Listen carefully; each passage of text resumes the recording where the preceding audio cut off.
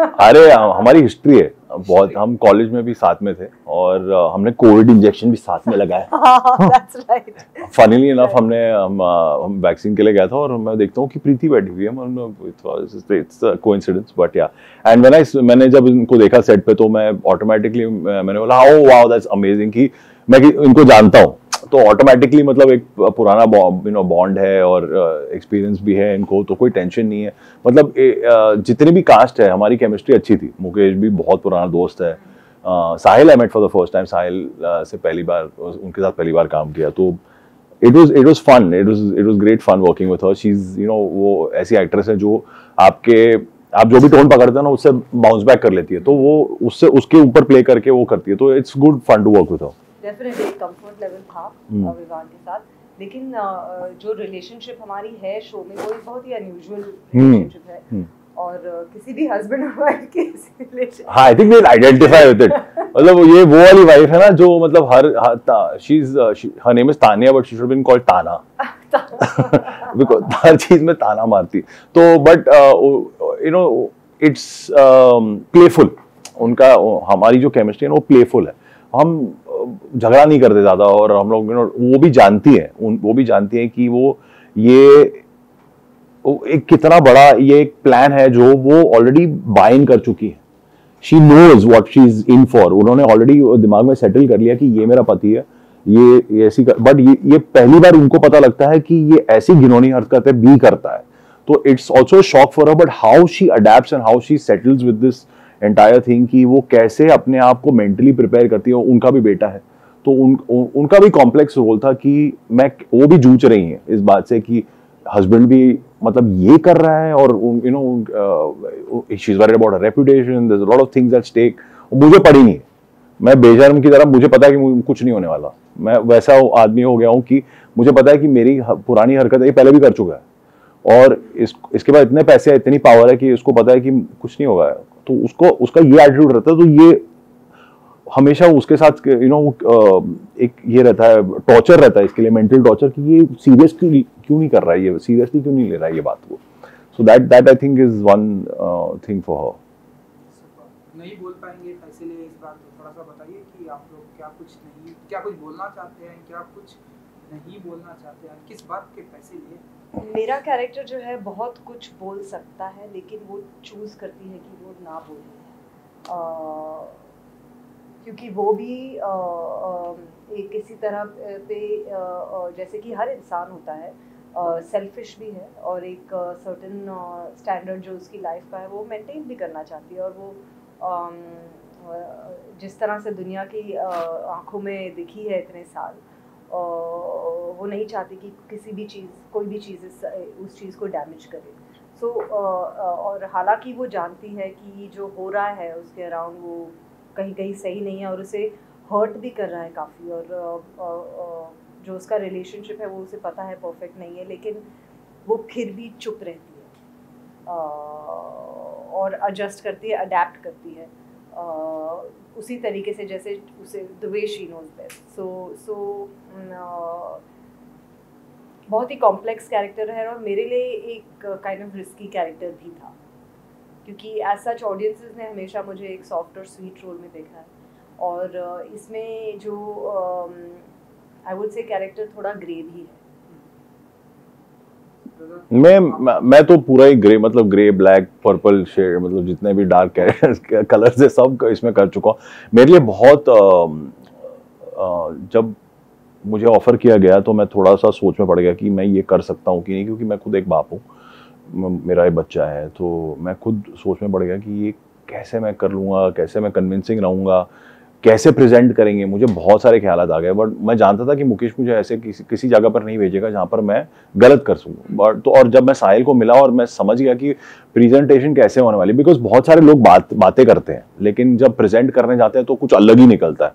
तो जब मैं समझ गया कि ये लोग कैसा चाहते हैं, कैसा प्रेजेंट करना चाहते हैं, तब मैं फुली कन्विंस हो गया ये करने के लिए। और जहाँ तक आपने कहा कि तो मैंने पैसे दिए हैं, सबको चुप कराने के लिए। आप बताइए हाँ जहाँ तक जैसे विवाद ने काफ़ी मेरे कैरेक्टर के बारे में मैंने चेक साइन किया इन्होंने पैसे दिए हैं। मैं भी आपको इनके कैरेक्टर के बारे में मैं मुझे लगता है कि इस इस रोल को एक्सेप्ट करने में विवान ने एक बहुत बहुत ही करेजियस डिसीज़न लेकिन बहुत ही इंटेलिजेंट डिसीज़न लिया क्योंकि एक ऐसा रोल बहुत ही कम आता है जिसमें आप ऐसा परफॉर्मेंस कर सकें जो लोगों को हिला दे जो जो जो एक इंसान को शेक करके रख दे कि ये भी हो सकता है और so so I think it was a very brave move on on Vivaan's part and I think जिस तरह से उन्होंने प्ले किया है बहुत ही uh, बहुत कम एक्टर्स इसे इस तरह से प्ले कर सकते थे। इतनी कन्विंसिंगली और इतने uh, uh, जिस तरह से उन्होंने प्ले किया। So I I would like to you know I think it's great that you accepted the role and बस आई फील मैं चाहता था कि वो लोग ना, जब वो इस आदमी को देखें तो वो इस बात को समझ जाए कि वो बच्चा किस चीज़ से गुजर रहा है। वो ज़्यादा इम्पोर्टेंट था मेरे लिए कि इसकी पावर इसकी पर्सनालिटी इसका डायनामिक इसका जो चाल चलन है, वो कैसे पब्लिक में बदल जाता है, कैसे वो यू नो कलर बदल देता है फट से और कैसे चेंज और ही इज़ वेरी शार्प बहुत शार्प है। वो दो दो मिनट में अपने आप को बदल देता है। वो एक्टर ही है तो वो अपने आप को डिफेंड करने के लिए बदलता आप देखेंगे जब आप शो देखेंगे तो आपसे समझ में आएगा। और मैं चाहता था कि लोग जैसे ही वो स्क्रीन पे आए ना और जैसे वो करें तो लोग अनकंफर्टेबल हो जाए। क्योंकि यही एक एक यू नो आपको दिखाता है कि ये ये कैरेक्टर सक्सेसफुल है। कि ये लोग अनकंफर्टेबल हो गए हैं इसको देख के और इसकी ये मतलब ज, जिस तरह से वो पेश आ रहा है तो I had to switch myself off मतलब मुझे अपना दिमाग बंद करना पड़ा और रोल में पूरी तरह घुसना पड़ा। बिकॉज़ मैं अगर मैं दिमाग चालू रखता तो मैं चार बार अपने आप को सोचता चार बार यू नो अपने आप को डाउट करता कि ये मैं ज़्यादा तो नहीं कर रहा हूँ ज़्यादा हो गया, ये कम हो गया, ये हो गया, ऐसा हो गया। तो I just switch off and I just went with a natural instinct and I I decided to do what I thought would be like a old school villain, you know, like somebody who is just this person वो ये ये वही इंसान है मतलब ये उस ही कोई एक्सक्यूज नहीं बनाता इसके लिए। कोई अपॉलोजी नहीं करता। इसको इसको भी जब ये, इनको पता लगता है इसके बारे में तो ये मेरे से पूछती हैं तो ये बेशर्मी से जवाब देता है। इसको इसको सिर्फ़ इसकी, अगर विक्रम बजाज की एक वीकनेस है तो वो उसका उसका बेटा है। क्योंकि वो नहीं चाहता कि उसके बेटे के सामने ये सब बातें बातें बाहर आए। कि यू नो एक इमेज उन्होंने अपने बेटे के लिए भी बना के रखी हर पेरेंट चाहता है कि वो अपने बच्चे का हीरो बने। तो he is also and public main thing obviously because he is a public you know he is a public persona तो वो चाहता है कि पब्लिक में ये बात ना निकल आए, क्योंकि उसकी पिक्चर को इफ़ेक्ट होगा।